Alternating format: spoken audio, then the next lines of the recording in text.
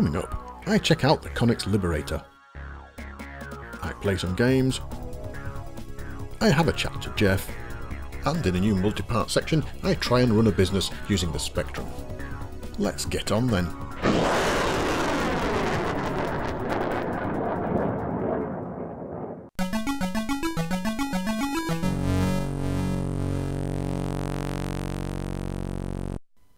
Were many interfaces for the Spectrum that did their own thing. Printer interfaces, joystick interfaces, serial interfaces, slow motion interfaces, monitor output interfaces.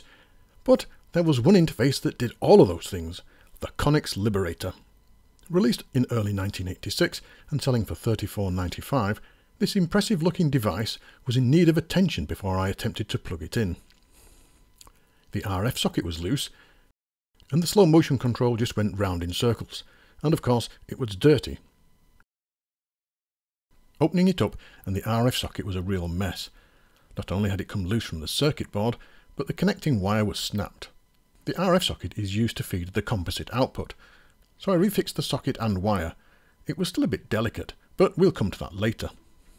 The speed control though was not repairable, at least not easily. The dial was just a plastic rod with a metal bit on the end that slotted into this thing. Obviously, over the years, it had been turned round too hard, and there's nothing to actually move now. I gave it a good clean, both the circuit board and case, before fitting it back together. And it was now time to try it. Plugging it in, though, was tricky. Not only did you have to line up the ear, mic and RF sockets, but the expansion port as well. Eventually, though, it slotted in, and this unit also provides the power, the collar around the ear mic and RF socket made it more sturdy when plugging it in, luckily. Powering on and there was no blue smoke. Now I can't test the printer or serial interfaces because I don't have the right leads. Apparently you need an Amstrad printer lead for it to work, and although I have something similar, I don't want to risk damaging it. It came with a driver tape if you wanted to go down that route though. So that leaves just a few things to test. The video output is working with a decent signal as you can see. The sound output goes through the RF socket. Again, no point in testing that because I'd have to tune the TV in and mess about with all that, but there is a small adjuster here in case it's too loud. The through port then, let's try plugging in a DivMMC. Yep, that seemed to work fine.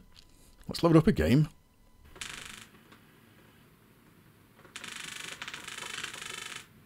Now let's try that slow motion switch.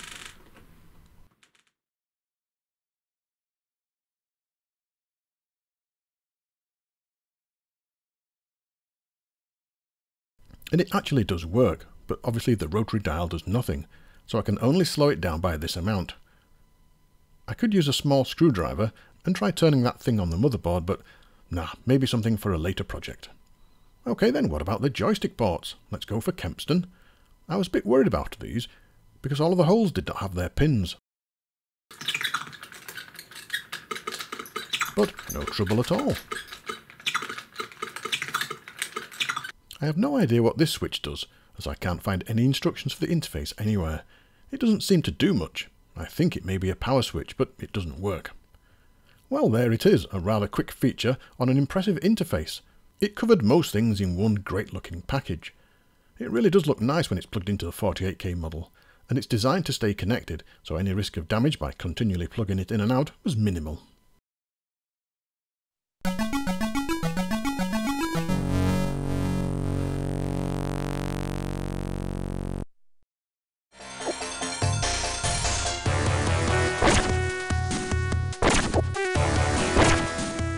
Ninja Spirit was an arcade game released by Irem in 1988. You control a ninja out to kill an evil warlock in this difficult side-scrolling beat-em-up. You can collect globes that give you better weapons and spirit ninjas to fight alongside you. A good arcade game then, but how could this be converted to the Spectrum? Released by Activision in 1990, the first impressions of this game are... Ah, overcrowded monochrome background, it's so difficult to tell what's happening here. Everything just melts into one large yellow scattering of pixels.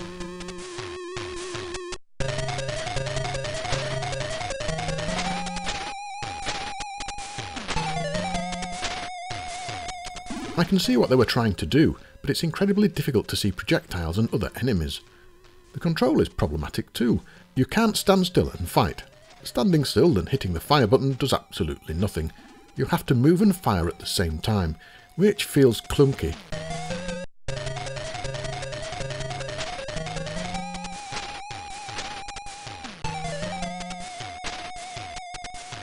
You can swap weapons by pressing enter, and some seem better than others, but with all that stuff on screen, you always get killed by a dagger that you never see.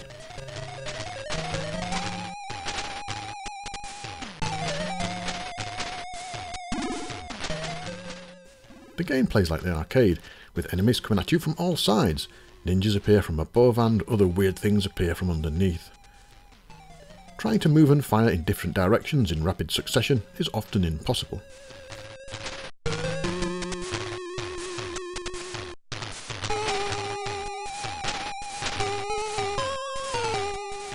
In the arcade version, some enemies are coloured red, and killing these drops a globe that can be then collected. The globes also have different colours to make them easier to spot. Now on the spectrum you get a yellow enemy who drops a yellow globe on a yellow background. Can you see the problem with that? Often you miss the globes, and to be fair, you're too busy trying not to get killed. I was terrible at playing this game. My maximum game lasted about 2 minutes, probably a lot less in most cases. The graphics, if you isolate them, are pretty good, and the sound is fine with some nice music, although a bit repetitive if you keep dying. To see more of the game, I poked Infinite Lives. However, the problem with that is when you die you go back to the start, so not really helpful, but it does allow you to build up a huge score if you wanted to.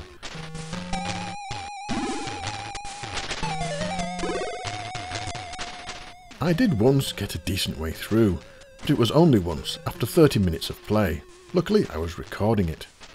I couldn't see more of the game because the RZX playback is denied. So, really, hmm. There's not much more I can say. A very frustrating game then.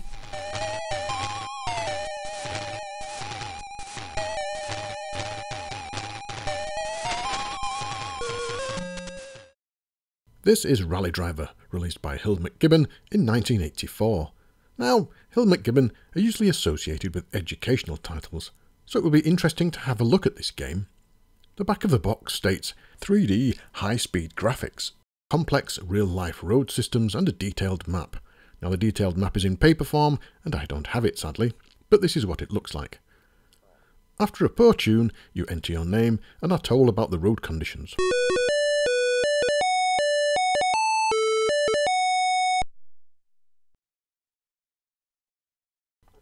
So this is a rally simulation rather than a flat-out racer. Oh well, let's get on and have a look. As you move down the road, slowly, you get prompts about turns and time controls. If you miss them, you either get a time penalty or your car just crashes. Even going onto the grass, flat grass, your car crashes. Not really a good simulation then. There's no engine sound with this game, in fact there's very little sound at all. And to get an idea of speed you have to keep looking down at your speed indicator. Even though you are prompted to take certain turns, you have to look at the map to make your own mind up which is the best route, and if you've been told a road is closed, you need to avoid it. The only thing you have to do is make sure you reach all of the control points. As you're driving, you will pass passage points, and here on the side of the road you'll see a board, and you are told two letters,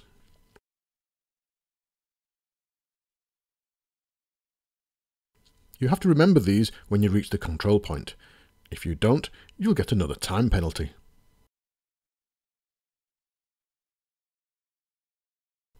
Stopping at control points, which you have to do, involves stopping your car between the two lines. Once there, you are asked for the code. If you enter that, you'll be told if there are any diversions or closed roads ahead, and again, you need to check the map for alternative routes.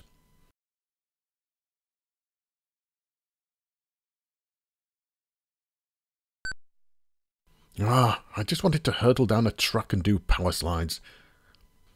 Now there is a problem if you play the game with a joystick, so I discovered. You can turn the car in different ways. There's normal left and right turns, and then there are hard turns, which allow you to turn into other roads. But you can only do this on the keyboard, because the keyboard has different keys for different things. For example, a left turn, you use key 1, But you can't use that to turn into a junction. To turn left into a junction, you have to use the Q key, and the same goes for the right-hand turns. This means that there are four keys in total for turning left and right, something you just can't do on a joystick because the fire button is used for the handbrake. And no, you can't do handbrake turns. Playing with the joystick then, as far as I can tell, is impossible, so there's very little point in having it in the game. This is slow, mind-numbing, and it even tells you wrong information. It says turn left, and you turn left and you crash, and get a 30 second penalty for turning into the wrong road. What the hell? Later I found I was trying to turn into a closed road that I was told about, so the map is essential to play this game, especially when you're told diversions. To be able to get anywhere without constantly crashing, you have to drive about 30 miles per hour, which is incredibly boring. If you go faster, you'll miss turns and crash into the grass again. Mm, and that's more penalty points. Sometimes ahead you'll see a slight bend in the road, but your car just seems to head straight for the grass, so you have to drop the speed to about 10 miles per hour and just keep steering away from it. Eventually, if you're lucky, your car will magically spin and take the corner.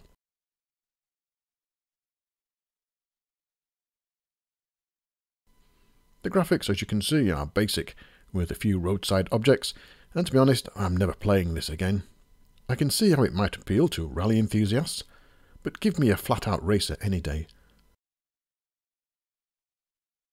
Ooh, a cow. And you can't seem to avoid them. Okay. I got to a point once, near the end of the stage, about 17 minutes in, and there was a T-junction, and no matter which way I turned, I got blocked, giving me more penalty points after more penalty points. I was stuck. A lot of penalty points and swearing later, I completed the first stage, after about 20 minutes of play, and I failed to qualify. No surprises there then. I tried again, and thought I did much better, but still failed. Oh well, you can't say I didn't try.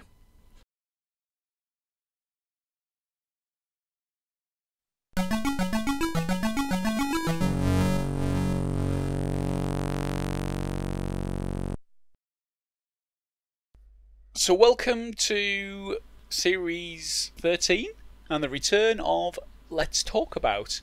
And today we're going to talk about extras in games.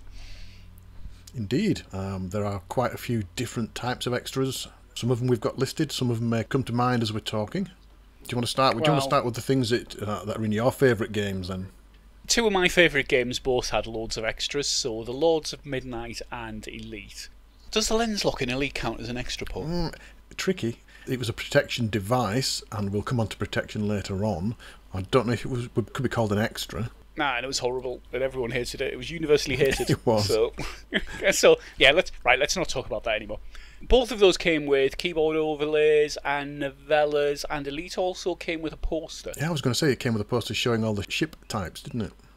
It did, and both of them had well, the novella was within the manual in Lords of Midnight, but both of them had Elite had a separate novella and manual. Both were pretty good with Elite. Elite was fantastic. The Dark Wheel, I remember reading and really enjoying it. Then another game that had a really good novella was Starglider.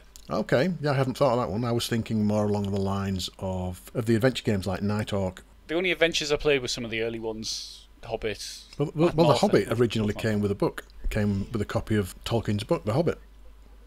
Of course it did, yes. Um, I wonder, I wonder if that could be the first Spectrum game to come with an extra. Can't think of any before that. Oh, no, no, I tell a lie, there was one before it, yes, which we'll get onto next. Go on then, what was that? Keyboard overlays. These small plastic overlays that Quicksilva used to put out, and so did mm. J.K. Greye. They had a small keyboard overlay with Corridors of Genon, or Genon, however you want to pronounce it. Haven't you showed, shown them on the show before? I probably have, because I show them at every opportunity. of course, some games, and I think later in the Spectrum's life, used extras to cover up the fact that the game was rubbish.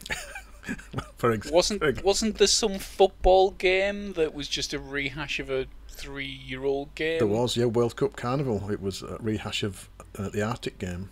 What did that come with? Uh, did that come with something?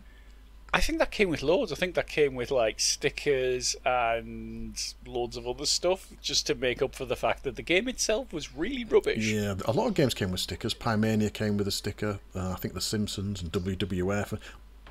Are we only counting physical extras, or does the song on the B side of Everyone's a Wally count? Now, Wally was a builder, and he had to build an house. He knew the basics of the trade, but hadn't got the nous to lay the bricks, dig the drains, or put in lights and doors. As an No, I extra? would, I would say that's that's an extra. Um, Automata used to do that with um, all the Pimania and Piman stuff. They had songs. You know, I did a um, a feature on that on the show about the, the songs, so I would say that's that's an added extra. Yeah, Actually, if you go, if we go back to maps and posters, yeah.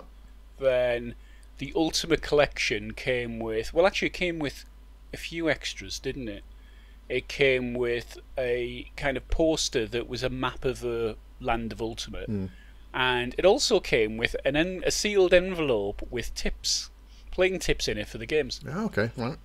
And I resisted for years opening that. I went back to my parents kind of sometime in the 90s and found it and goes, I may as well open this now.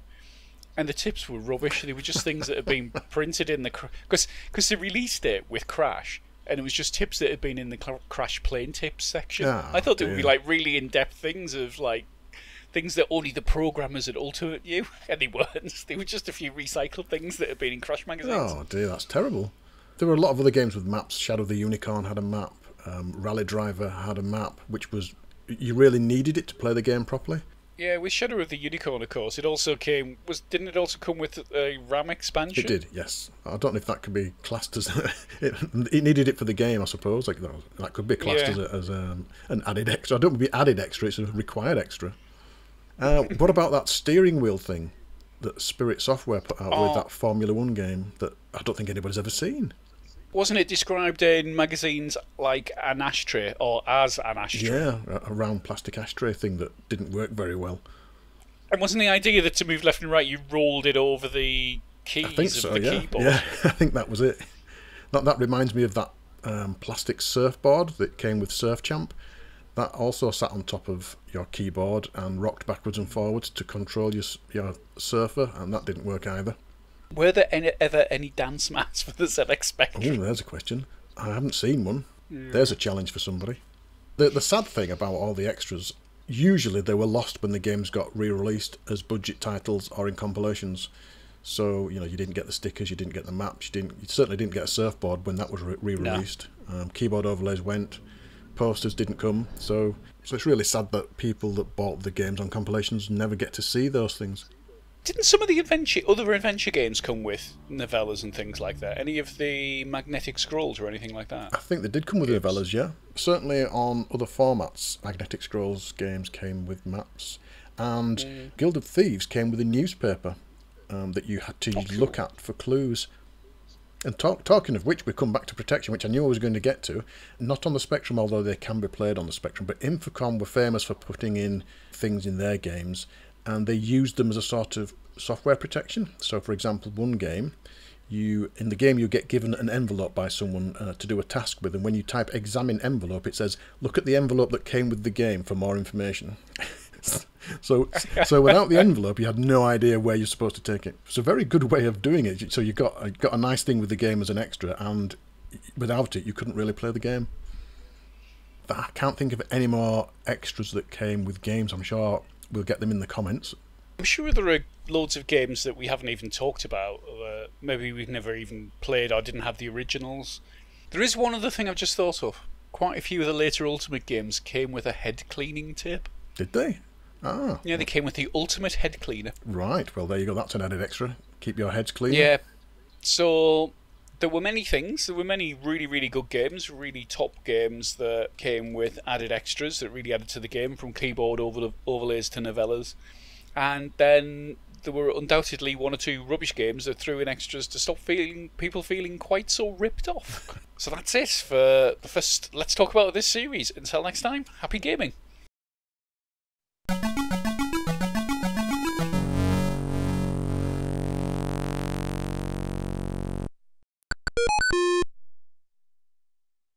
This is ZX Frogger, released by Arda Erdikmen in 2022. Here we have the familiar Frogger game. You all know the game. You have to get your frog to safety across a road and a river. The screen aspect has been changed to match the arcade, and although movement is in characters, it plays quite well. All the features are present.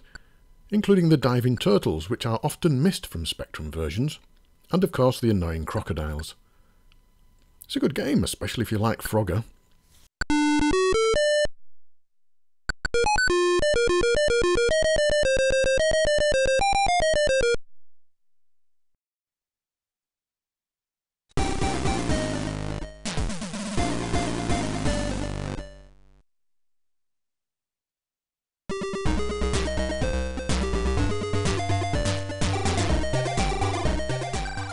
This is Beethoven's Revenge, released by ZX Amaze in 2022.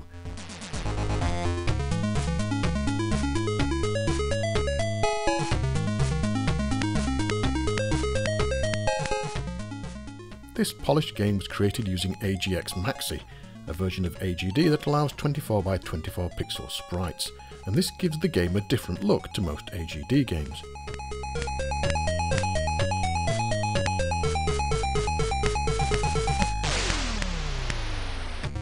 The idea is that you, Beethoven, have to rescue other great composers from prison. And to do this you have to collect musical instruments in the right order. As you can see, it's a maze game, but the 1 to 8K version has some great music.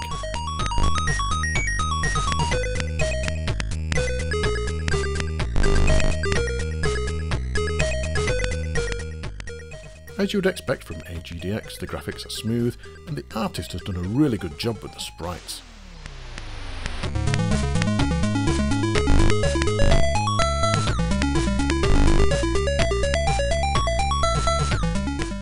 There's a lot of running around, which is what you'd expect from a maze game, dodging dogs, plectrums and speakers and so on. And the first thing you need to do is get an ear, because Beethoven is deaf. Once you get it, you can then collect the musical instruments, but you have to do it in a certain order.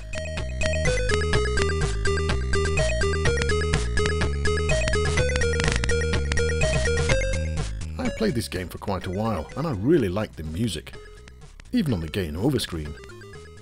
I never seem to get very far, but then again, I never had patience for maze games. But this is a really great game, definitely one to try.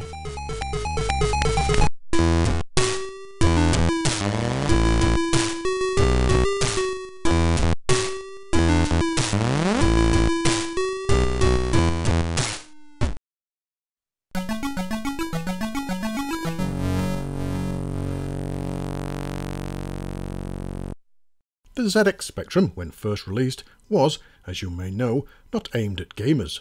It was meant to be a home computer for studies, homework and business use. As we also know though, the games market exploded and the machine became the most popular, with over 10,000 games produced for it, and a library that's still growing today. Magazines in the early years often ran stories of how people were using the machine in day-to-day business use. Sinclair User being a particular advocate. Over this series, I'll be trying out the Spectrum as a business machine, to see if it really could, with any great success, meet the requirements of a small enterprise selling Spectrum games. There are many elements to running a business, and I hope to address as many as possible in each episode, adding up the cost as I go along and evaluating the various options. In no particular order though, I will need to consider such things as stock control, record keeping, orders, invoices, advertising, documents, printing, and much, much more.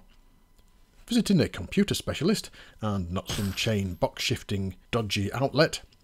My first question would be what do I need?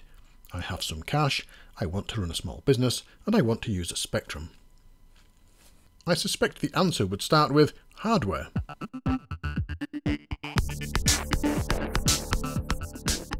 Now I could go straight for the plus 3 machine, it has plenty of what I need, but I want to aim for the 48K model.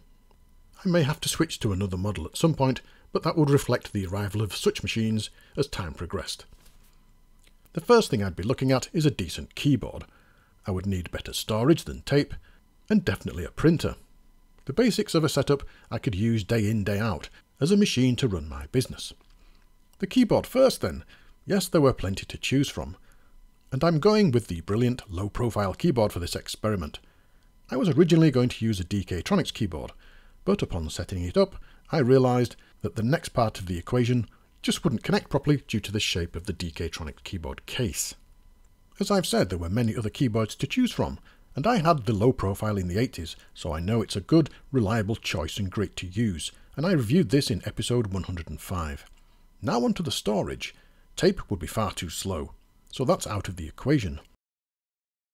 The ZX Microdrive, reviewed in episode 27, may be okay, but has limited storage, about 80k per cartridge, and it's not reliable enough for business use, I don't think, so that just leaves disk drives. An expensive add-on, but one needed if it's going to be as painless as possible. I need fast access to stock databases, spreadsheets, and management of finances, storage of documents, and even possibly some sort of newsletter, and just general business files. I'm opting here to use the Plus D interface. This is a fast, well-made unit that I reviewed in episode 111, and has the added advantage of having a printer interface built in. This means I don't have to buy yet another interface and have it hanging out of the back. I could have gone for other options, such as the Opus Discovery or Watford SPDOS, but with microdrive compliant routines, the Plus D will have a good chance of working with any microdrive compatible software that I may use. I don't want to spend days just trying to get software onto disk, and this will also be a major factor when choosing software. Next would be a printer. The ZX printer was fabulous for a hobby machine, nice to mess about with, but for business I need something more professional, a full width printer. There are a lot to choose from, and because I own a cheaper model, I'm going for the Citizen Swift 9. I could have gone for a 120D, but I couldn't find one at the time. This 9-pin dot matrix printer works fine with the Plus D, so that makes it easier to implement. And a new ribbon is on its way. So here's the setup. I have a good keyboard, good storage and a printer.